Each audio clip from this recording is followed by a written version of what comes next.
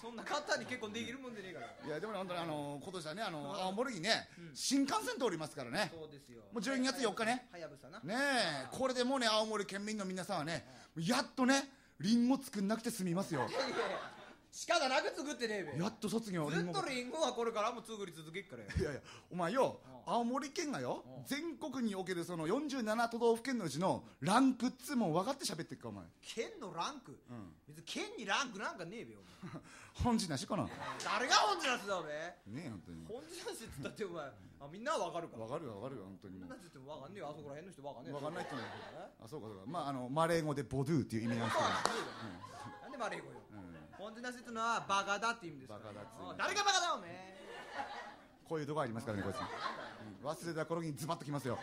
ね。いやじゃあもうお前にね分かりやすくね青森県のランクってものをね教えてやっから。ランク？うん。何よランク？じゃあお前が青森県だとするぞ。俺が青森青森県。なんでここに廊下があんだ廊下。廊下？うん。であっちから東京来っからね。でも全然意味わかんねえよ。東京来るってなんだおめえよ。おいっす。おいっす。干されっつおお前。何がだよちょっと待ってつえ。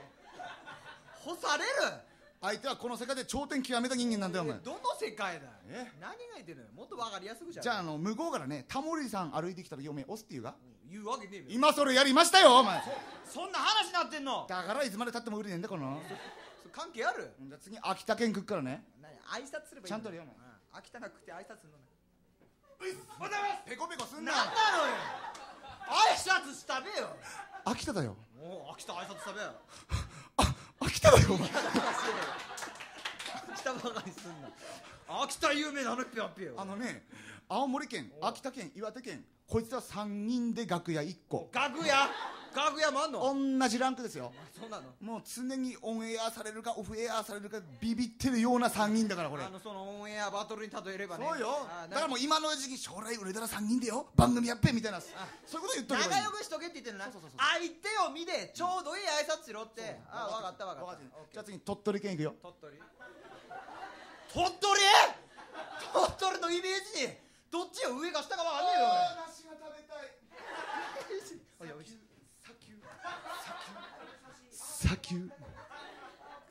砂丘。おいおいおい完璧だべなお前。あ今のでいいんだ。どっちがわかんねえ相手には見つからない。怒られるかと思ったらそういうことですよ。いいのな？これがね今までのこの青森県のランクですよ。新幹線通る前ですよ。なるほど。さあしかしこれから違いますからね。新幹線開通しましたから。ね？これもブレイクしてランクが上がったってことですよ。だってわけだ。そうですよ。10月の4日はやぶさを下がり偉くなってますからね。なるほど。はい偉くなった青森県ですよ。オッケーオッケーオッケー。東京来っからね。オッケおいっーおいつけやがんなよ。なんだろ新幹線取ったくれて何ため口聞いてんだろ 売れたんじゃねえのか？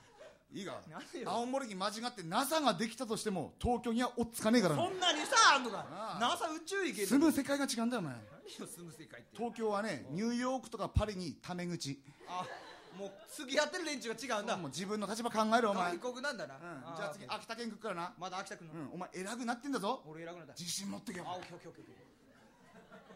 ほら青森さんじゃないですか。おーいやいやいやいやいや。いやどうもどうもどうもどうも前が出てこねえや。落語はいねえか。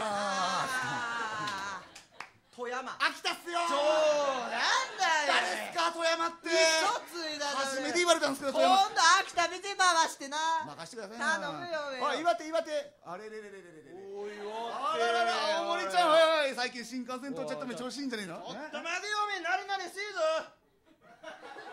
こっちはもう住む世界が違うんだ。おめえ誰に向かって口聞いてんだよ？いやおめえ岩手だべ。何をかせバリバリバリバリバリバリバリバリバリうわーまさかおめえ岐阜県だ微妙だべやもっと有名な県出てくるかと思うべぶったね山口県にもぶたれたことがないのにピンとこね福井県に言いつけてやるピンとこねあ大阪さんあおい